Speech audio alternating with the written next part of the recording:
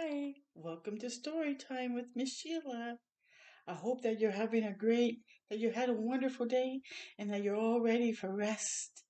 But if you're not, I still hope that you enjoy this book and like learn the lessons from it. The book we're reading today is called I Am Enough.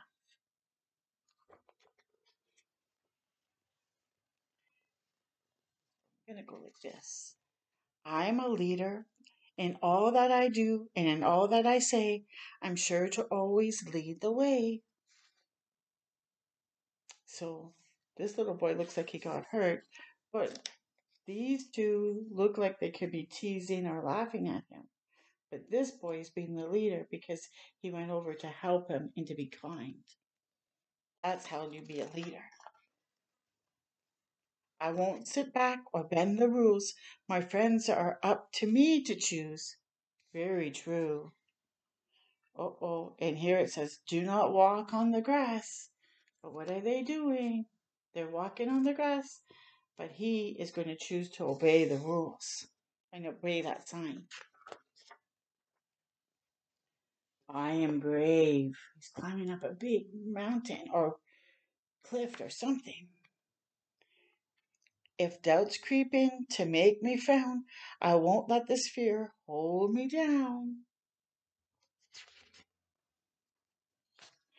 My feet are firm on shaky grounds. My faith in me knows no bounds. Ooh, he's a pitcher in this one. Look at how fast that ball is going. I am strong.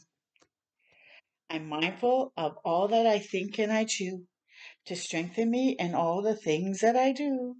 So he's eating broccoli. Maybe that's a tomato or it could be an apple. But you see all the fruits here and the grapes.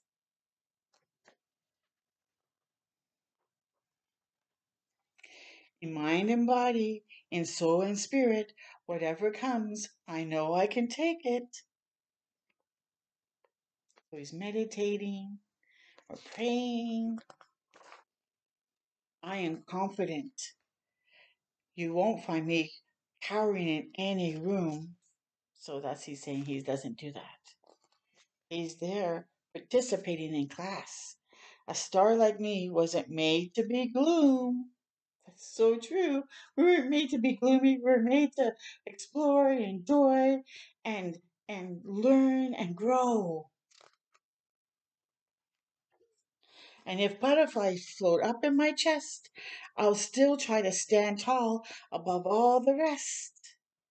Yes, that's good because we all have to learn to be good speakers. Yes. I am focusing on my business. I put in the effort to get the work done. When I see good things I know can be won. And so he made a to do list, and on it it says homework done, cleaning done, baseball he left not done yet, so he's going to go play baseball. I plan my day well and make sure I read. I'll, it'll take a sharp mind for me to succeed. Very true. Oh, look at him. He's looking up how to be a successful baseball player. Look at that brain. I guess that's about our reading and working our brains out. I am in control of my emotions. If things don't go well and I need to cry, it's okay. For Drew, it's okay to cry. To let it all out like the big gray sky. Yes, everybody should cry once in a while. Especially when things get hard or tough, they can cry. It's okay.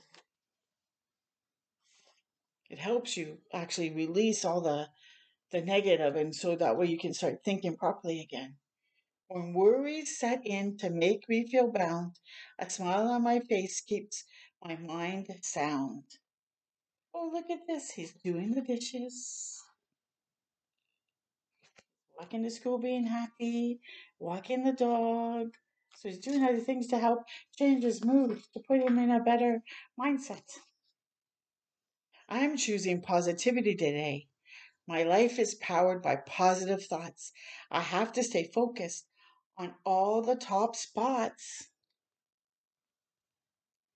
I watch what I say and I guard what I hear. The things we let in are what are what we keep dear. Yes. We want nice, we want joyful, we want favored and good things to come into our minds and into our hearts and what come out of our mouth as well. I am expecting favor today. The one who made me has great plans for me. I'm a beacon of hope for all the people to see. Yes, that's true. God made us all special and unique and with our own gifts that we need to share. My life is a magnet to wonderful things. Favor will find me on Yah giving swings, like Yahweh. So look at he's using the magnets and he's attracting achievement, keen, divine, excellent, fabulous, lovely, good, cool, and brave. Oh, here's I am achieving my goals. Well, this they say practice makes perfect, but I don't believe that. I say practice makes improvements. Because nothing's perfect, but practice makes improvements. It helps me get better. It's just what I need as a driven go-getter. Yes, you have to keep going for your dreams and you and um being the best that you can be. When when great care is needed in my daily tasks, a gentle hand to guide me is all that I ask. Oh, look at so either a parent uh, or teacher or whatever is like giving him a thumbs up. Yep, you're doing it right. You're doing a good job taking care of your pets. I am filled with great ideas. I won't be throwing off if I hit a speed bump. I'll work really hard to get through my slump. Oh, he's doing a Rubik's Cube.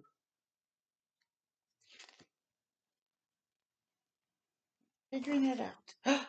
if there's a puzzle that may leave me frazzled, just give me a chance. You'll surely be dazzled.